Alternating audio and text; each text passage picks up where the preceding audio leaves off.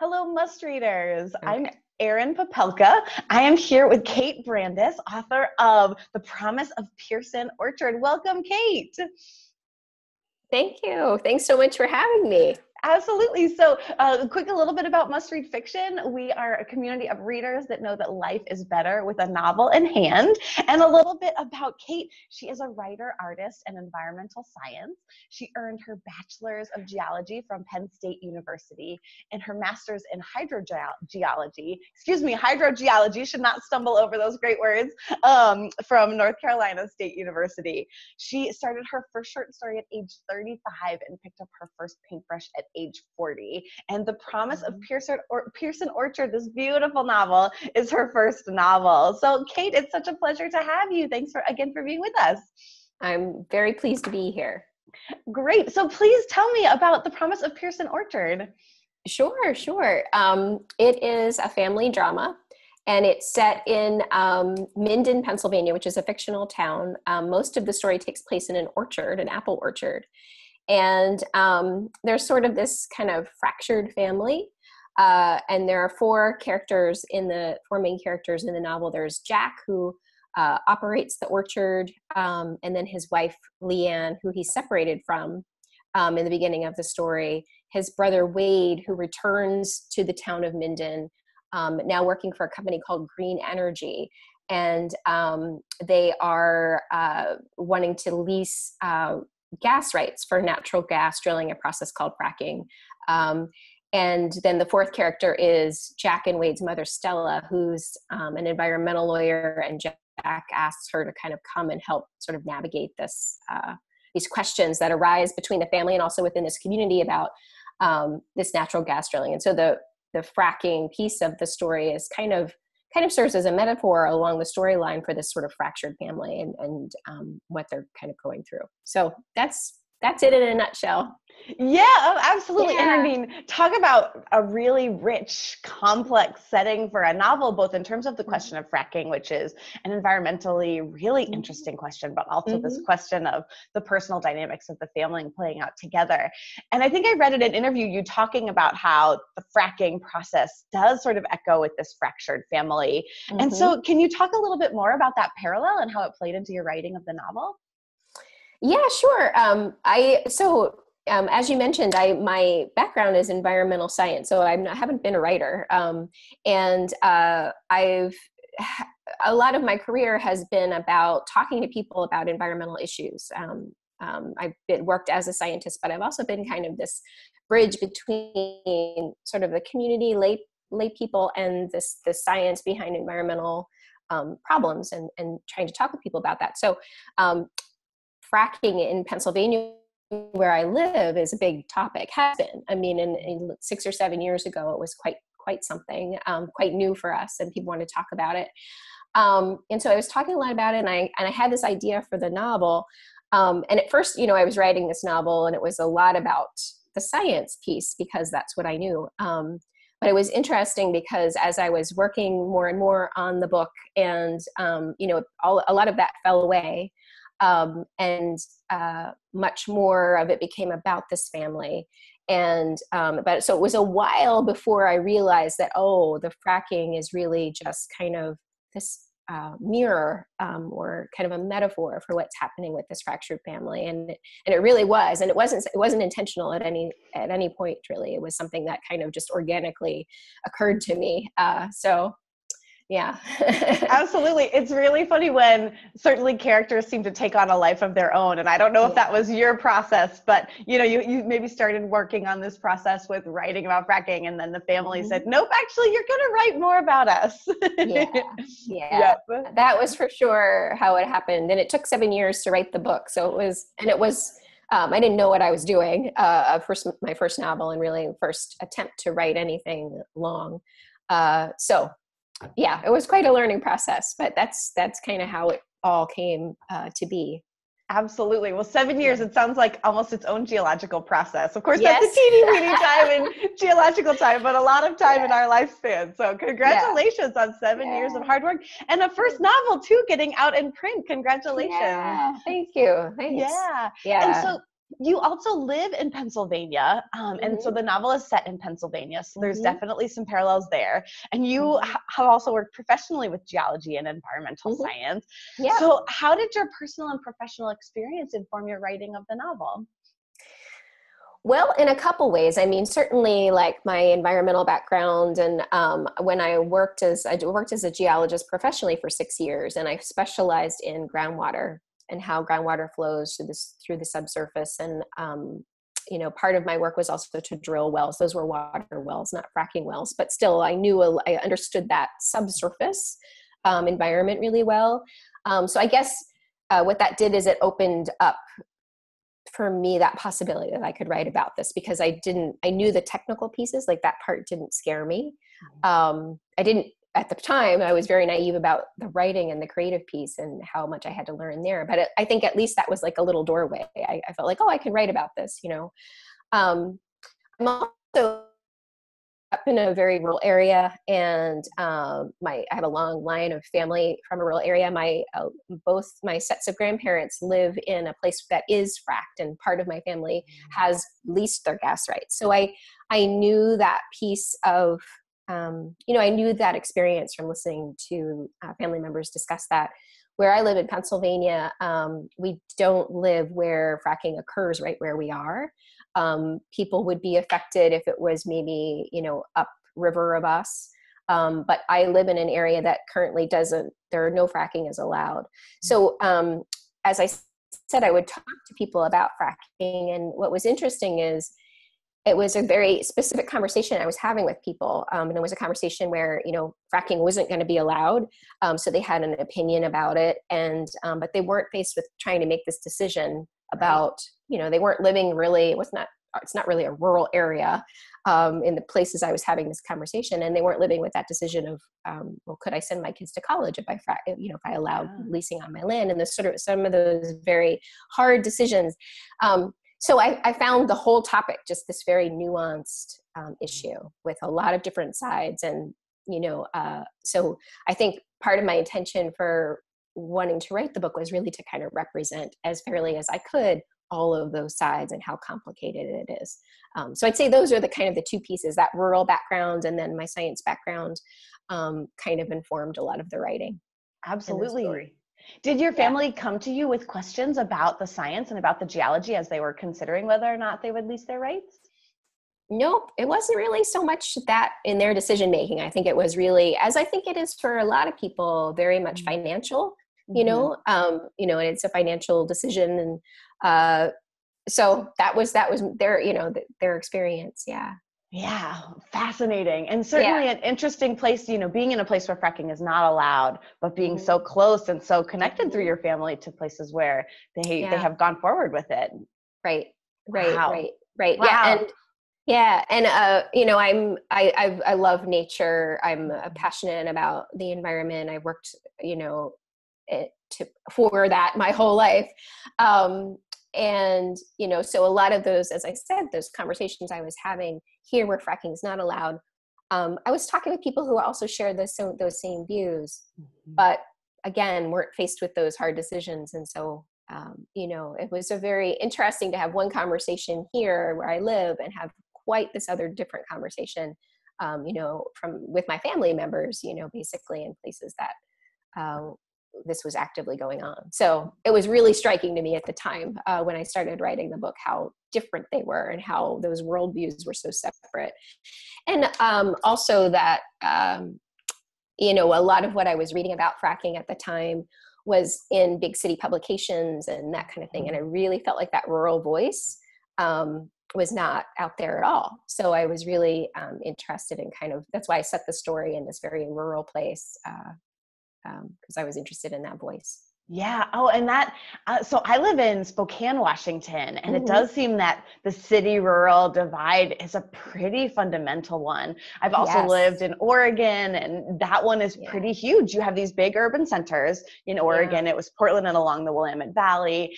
Um, and right. then pretty much the moment you get out of those urban centers, things change pretty instantly. And it yes. does seem like a, um, a really fundamental divide in terms Mm-hmm. of priorities and in terms of this in like in terms of the rural population feeling like the cities are trying to tell them what to do which feels really disempowering and Yeah. like a very profound change so what an interesting kind of way to go Mhm. into the story and to really think about trying to explore that Right, right. Yeah, I couldn't agree more. I think that's so true. And I think there's so much misunderstanding on both sides, you know, city dwellers and rural, and there's a lot of assumptions. And um, so it's pretty interesting to kind of know both those worlds. Absolutely, absolutely. Uh, and to get Yeah. to explore it through a novel, which gives you the Yeah. space to Totally. really play with all of those pieces, and that you don't. What's a, what's such a beautiful thing about fiction is you don't necessarily have to take a side, though I'm sure you have an opinion, but you Yeah. get to sort of explore the nuance where you have these characters who some of them might believe what you believe, some of them might believe the opposite, and you can just sort of play with it as all those forces come come together at once. That's right. Yeah. Yeah. I would say that was um, one of the most interesting and um, treasured things about writing the novel was that I had to, I do have opinions, right? Um, but I had to, I wanted to write this novel that I felt like kind of represented all the stakeholders in some way. Sure. Um, and I had to write characters in a very, what I hoped was, you know, a very believable manner that and, and make them sympathetic um, even though i didn't agree with their view or what they were doing. And so you know i just think that for me it was a instruction and kind of compassion and understanding of other people and um, other views and that everybody has their view they've earned it in some way you know because of where they've come from and it's all way more complicated you know. Uh, people are complicated and uh, we're made by so many things. Our views are shaped by so many things and so um, it was just a really kind of fundamental reminder of that which um, uh, it was it was a wonderful experience that i did not expect at all so Wonderful. Yeah. Can you talk to me a little bit more about your creative process? You are a Oh, writer and a painter, but also Yeah. a scientist. So, you know, how did how did this creative journey start for you? you know I, people do ask me this a lot um, and it to, to, to say the start of it it's it's i i will try to explain it but it's not something i can really put, put my finger on um, i had always worked as a scientist and i poured a lot of my energy into that uh, through my mid 30s my career. Um, and uh, my i had a my first son um, i have two children. I had my first son when i was 35 and for whatever reason um, after he was born and i was working full time and i had this small child and it was a very inconvenient time to try to learn to write creatively but for whatever reason that's when i decided that it was something i wanted to do. Um, it, i was not somebody with that burning desire my whole life but suddenly i did really want to try to do that and i would you know i taught myself basically you know i would write read books about how to you know whatever um, and i was always a good writer uh, from a technical standpoint scientific standpoint but it was quite a quite a long journey to learn how to tell a story in that long format um, or short format. I, I spent two years trying to write a short story uh, too so you know it long it takes a long time but um, you know what i think that, that all i can say is i had this thing that bubbled up and i just felt like i had to honor it and um, and so i did. Yeah and the same thing with the painting you know it's like again like something oh i think i, I want to try that and so i did and um, you know for me that painting is kind of like uh, I need it in order to do the writing. I need another form of creativity to kind of take a rest Sure. from the writing. And it's like um, the processes are, are similar, but the one is so visual uh, and so satisfying because it's so quickly done versus the novel, Sure. which is so long. Um, so uh, that's why I do the artwork. It's, it's I, I think of myself primarily as a writer, but I do the artwork as kind of like this other creative resting space where I can contemplate, you know, and kind of take a break from this immersive uh, writing thing. So that's the best way I can describe it and how it all happened. And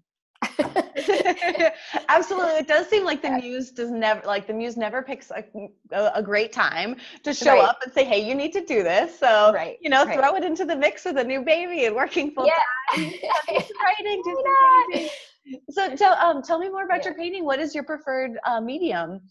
Um, I I do watercolor. That's the only painting I've ever tried. Mm-hmm. Uh, and again, I'm more or less self-taught. I've taken like a couple little classes, but um, and I, I, I think of myself as a dabbler for sure in the painting. But I I am working on a project now that in, includes watercolor and um, paper and thread. So it's a it's a mm. paper quilt project. Um, and it started because I was having this this when I first came out when I came out with my book. Um, it was very it was an interesting like kind of crisis of identity. I, I'd say. I mean, not a crisis. It wasn't a bad thing, but it was. Um, I'd always been this writer. Everyone knew me as a writer, uh, as a scientist. Sorry, I'd been a scientist. Everybody knew me as a scientist, and suddenly now I have this weird new identity as writer. And so I felt like this strange kind of split, you know. Um, and then a little bit of time goes by, and then now suddenly people know me as writer and not, you know, the scientist kind of pers- person. The identity of scientist is fading, and so um, so I wanted to do a project, an art project that kind of um, helped me work through this. Um, so I ended up uh, interviewing six uh, women who also are scientists and artists um, and they're they're local to me, uh, and they're all different. But um, and then I'm making kind of quilt series or small quilts of paper and watercolor that are sewn. Um, each one inspired by one of these six women. So there's a six in a series, and um, and that's been really wonderful. Like you know, it's been wonderful to hear their stories and their experiences, and again, like have that little resting space of being able to work on that to um, as I work on a new novel. So absolutely no no rest for the weary over there. My goodness. Yeah. And so with working on the paper quilt project, these other women, have you been able to talk to them about how their scientific mm-hmm. scientific identities have impacted their artistic identities and vice versa? For sure. That's exactly what I talked with them about. So I have I interviewed them um, each one and then, you know, uh, wrote down the whole interview and it's you know you can look at it on my website if you want but um, that's what we primarily talked about you know this this um, interesting life when you have this sort of logical mind and that you also have this need to create and how they can inform one another. Um, and what's interesting is that all the stories all the experiences are quite different you know so it's not a one uh, you know, I'd hoped I'd hoped to, in some way to find like, oh, we're all doing the same thing, we're all struggling with the same thing, but it's all very different, and it just is a reminder that we're all human beings just trying to live our lives. Absolutely, and, uh, the best we can, you know. Uh, but it's it's been a wonderful to talk with them and to uh, share in what they're doing, and um, and yeah, Yep. And I, for some reason, the sewing piece is is uh, you know, trying to like knit ourselves together or knit myself together or whatever. Uh, um, so it's interesting. Yeah. fantastic. Fantastic. Yeah. Must readers definitely go yeah. to the Kate's website and check it out. Some of the images are fantastic. It's really yeah. beautiful to see that. And especially thread on paper because papers feel so fragile and thread feels a little bit more permanent, even though it is so thin and so fine. And so it's a really lovely juxtaposition. Yeah so um you talk to book clubs and i know yes. must readers another plug if you have a book club mm-hmm. um, kate brandes will stop by if she's close enough in person or she can mm-hmm. join by skype or facetime so i just wanted to talk to you about mm-hmm. what is it that you've learned from some of your um, appearances with book clubs and joining book clubs what have you learned from their discussions of the book I just love book clubs so much. I have to say, I just, um, it's a wonderful time to be able to hear other people's reactions. And um, it's incredible uh, what I've, how people view these characters and the story and, and what they see in the story that I never uh, imagined, you know? So it's really, it's really uh, fantastic. And I'm always interested, there are those four main characters. I'm always interested to see who uh, identifies with who you know like people identify with a certain character and um, it's really fascinating and, and how people also respond to them um, you know they're all very sometimes very different uh, responses to these these complicated people. So um, so it's always a pleasure to talk to people about the book um, and it is a the book is you know it doesn't it is nuanced a bit so it, there always is a lot of room for discussion and um, and i've been in some interesting discussions about uh, about the story and about the choices that the characters make and uh, that the community makes. So always lots of fun. Yes, and now we can add discussion moderator to your long list of qualifications. Yeah. yep. Great. Yeah. And so to, you know, kind of round things out, your book came out in April on Earth Day. So congratulations. Yep. So how did you celebrate? Because I imagine that talk about worlds coming together. I imagine Earth Day and your first yeah. out was a, a bit of a collision of worlds. How did that feel and how did you celebrate? yeah it was it was a crazy day um, there happened to be um, a local science march that day so there was the science march going on in yes. uh, dc and uh, there was also a local one so i had uh, two uh, book openings um, that day uh, one at the uh, science center that I worked at when I was composing the novel, um, and one at a local bookstore later in the afternoon and then the science march was in between. So it was, uh, it was a fun and crazy day. But that's how we celebrated with lots of apple pie, um, given the apple orchard setting, and um, you know, um, apple cider and all kinds of good stuff like that. and I saw also on your website that you have a, a, recipe for apple cider that book clubs could use as part of their yeah. into the book as well. So apple cider yep with a wonderful book, uh, The Promise of Pierson Orchard. So, Kate Brandes, thank you so much for taking the time to speak with us today. And thank you so much for writing such a fantastic novel and giving us so much to think about and so much to talk about. Thank you, Erin. Thanks very much.